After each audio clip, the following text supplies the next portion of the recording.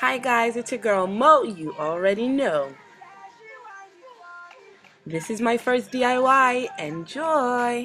I'm going to be showing you three different ways to make nice denim shorts out of these jeans trousers.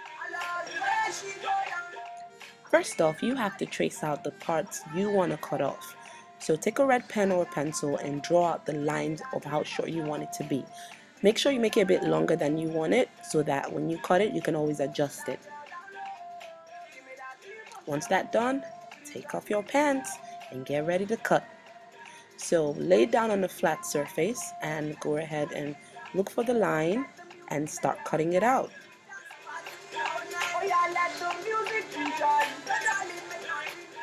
The easiest way to cut the other leg is by folding up the other part which you have cut and then tracing it up and cutting it.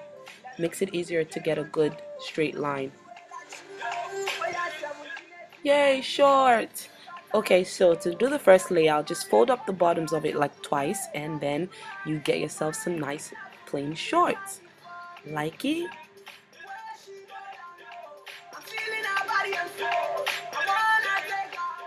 The second way is by getting a red marker and trace out all the parts of the jeans that you want to put the ripped effect.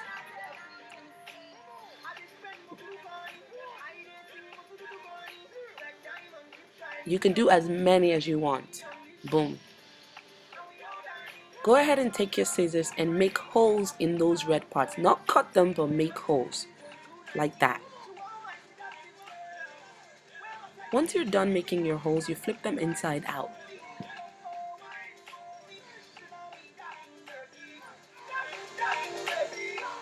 Locate your holes and get ready to cut.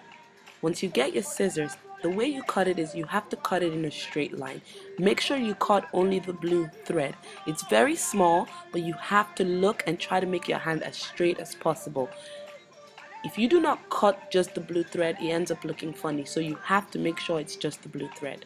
Once you're done, flip it around and get ready to use tweezers. Now you're going to use the tweezer to remove all the blue threads from the part you have cut out. It should be easy to come out and look like this. And once you're done doing all the parts you've cut out, you get these. Awesome, isn't it? This leads us to our second one, ripped denim shorts. For our third look, we're going to use bleach and water.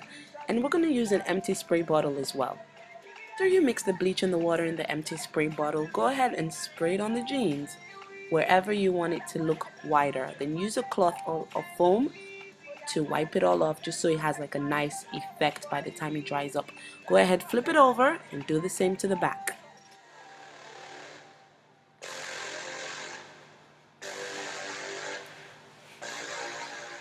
Once you're done, put it out to dry, and this is what you get. Isn't it amazing?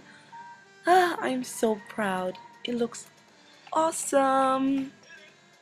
And this gives us our third look, which is the ripped bleached denim shorts. Doesn't it look amazing? I hope you like. Thank you for watching. I hope you learned a thing or two. Feel free to subscribe to my channel, like and comment, and see you in my next vlog. Bye!